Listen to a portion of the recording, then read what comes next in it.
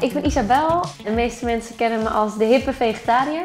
Dat is uh, mijn foodblog en mijn boek. En inmiddels is dat verworden tot een soort van klein bedrijf dat andere bedrijven adviseert over duurzame vegetarische voeding.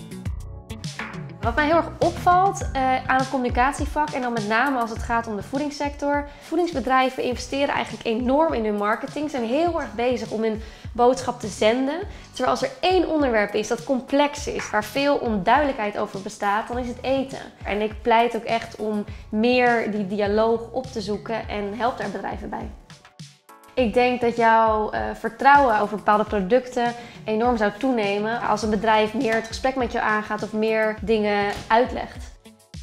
Toen mijn blog echt nog mijn hobby was en ik het deed naast mijn fulltime baan, naast het schrijven van een boek, toen heb ik wel eens gedacht van ik ben echt gekke Henkie. Ik zit nu zeg maar, terwijl iedereen buiten op het terras zit, zit ik mijn hobby hier nog even een blogje te maken ik heb wel altijd heel erg geloofd in het grotere plaatje. En dat ik ergens naar onderweg was. Maar dat ik er mijn werk van had kunnen maken, had ik echt nooit durven dromen. Ziet er goed uit, hè? Ik ben dus absoluut geen chef. Ik ben best wel een beetje een botte boer in de keuken. Maar ik heb wel heel erg veel kilometers gemaakt in de keuken. Dus daarom weet ik er echt wel wat vanaf. Eigenlijk probeer ik heel erg vegetarisch koken te vereenvoudigen. Um, want iedereen kan het en dat is echt waar